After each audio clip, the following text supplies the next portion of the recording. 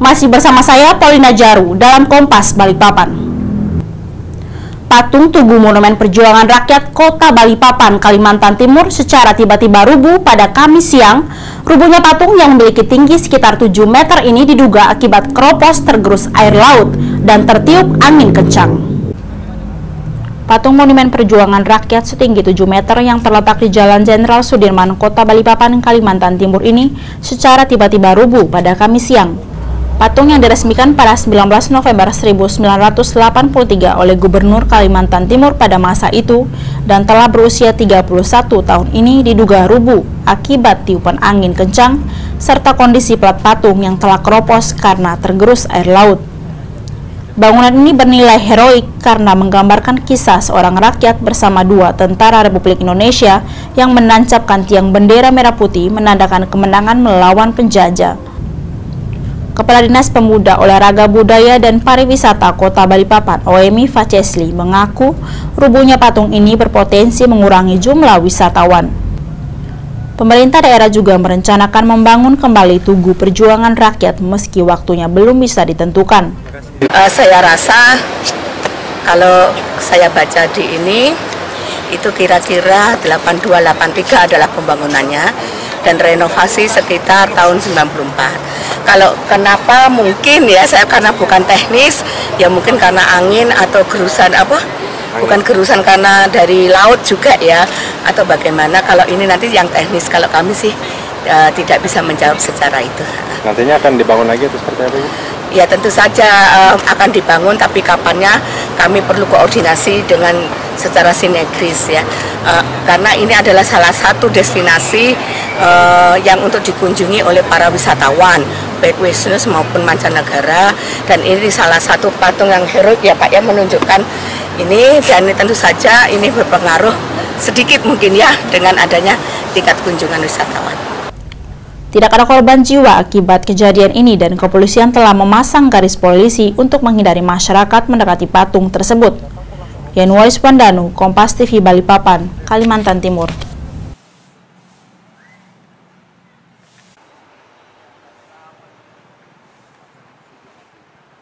Seorang kurir narkoba yang baru mendapat remisi pada 17 Agustus lalu menjadi pendeta gadungan untuk menyembunyikan sabu di dalam Alkitab untuk mengelabui petugas saat ditangkap.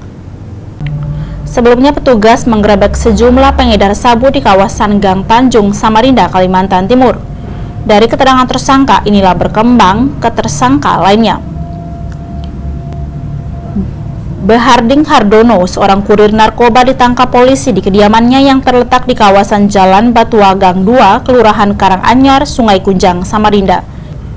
Saat ditangkap polisi, tersangka kedapatan menyembunyikan satu poket sabu seberat 7,66 gram di dalam sebuah Alkitab bersampul coklat. Awalnya pelaku hendak mengelabui petugas dengan mengaku sebagai pendeta. Namun ternyata hanya belakangan pelaku sebagai pendeta gadungan. Terungkapnya kasus ini setelah petugas kepolisian menerima laporan dari masyarakat yang resah dengan peredaran narkoba di kawasan tersebut. Saat dilakukan penggerbekan di kediaman tersangka, ditemukanlah barang haram yang disimpan tersangka di dalam kitab suci tersebut. Temukan barang bukti satu buket sabu-sabu seberat 7,66 gram itu dan satu buah Alkitab yang modus operandinya memang dimasukkan di dalam Alkitab tersebut. Untuk mengelabui petugas ya? Nokia. Ya, untuk mengelabui petugas ya. apakah dia sebagai kurir nanti kita buktikan masih masih dalam tahap penyelidikan ya masih dalam penyidikan. Nanti kita buktikan apa dia sebagai kurir atau dia memang sebagai bandarnya di hadapan awak media, tersangka mengaku mendapatkan barang haram tersebut dari seseorang yang menyuruh tersangka menjadi kurir dengan iming-iming upah sebesar 1 juta rupiah apabila sabu sudah sampai di tangan pengedar yang saat ini masih dalam pengejaran polisi.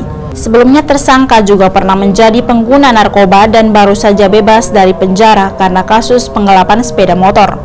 Eh, udah lama ya Pak? Ini mulai 2000 berapa? 2012an Pak. Hmm. Ini dijual nggak atau pakai sendiri? Tidak tahu Pak. Saya disuruh antarkan semua orang. Antarkan untuk itu. Ini antar antar ke mana? Ya. Antar ke mana? Nggak tahu tunggu telepon telepon baru diantarkan. Kenapa kok ditaruh di dalam Alkitab? nggak nggak tahu saya sengaja pak. Kalau saya baru saya ambil kan? Saya taruh di situ aja pak. Belum saya keluarkan. Memang udah pernah sebelumnya masukkan dalam Alkitab. nggak pernah pak. Atau mungkin buat ngelabui petugas biar aman atau gimana? tidak pak Saat ini polisi masih melakukan pengembangan terhadap kasus ini dan memburu sejumlah tersangka lainnya yang diduga kuat terlibat dalam kasus peredaran narkoba ini. Aritya Abdul Aziz, Kompas TV, Samarinda, Kalimantan Timur.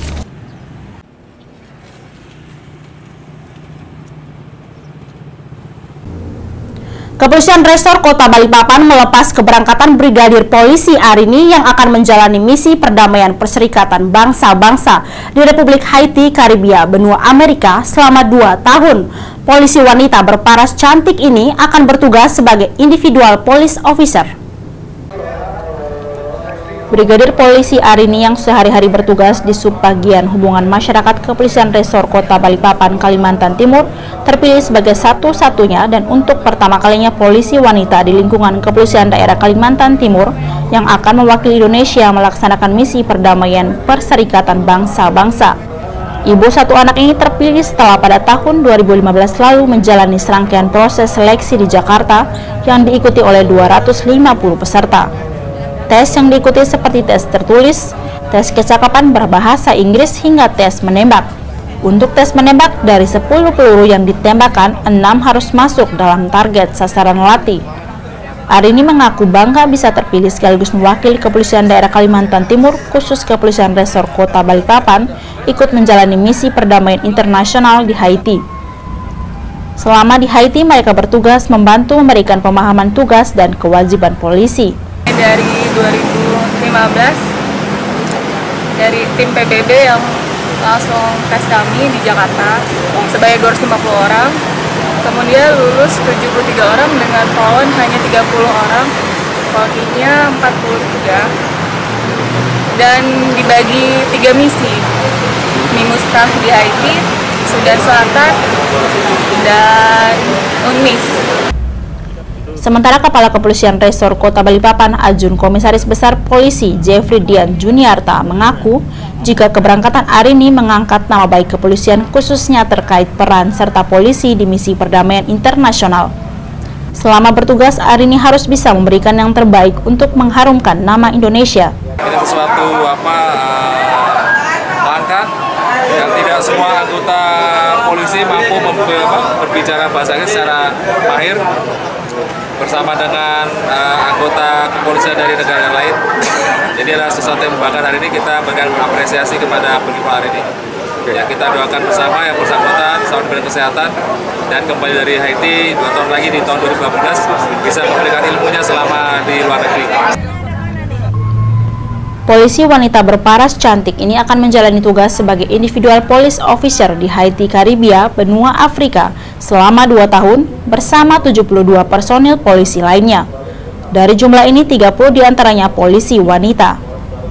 Sebelum berangkat pada hari Minggu nanti, Arin dilepas oleh personil Kepolisian Resor Kota Balikpapan pada Kamis pagi. Januaris Wandanu, Kompas TV Balikpapan, Kalimantan Timur. Itu tesnya selama 啊！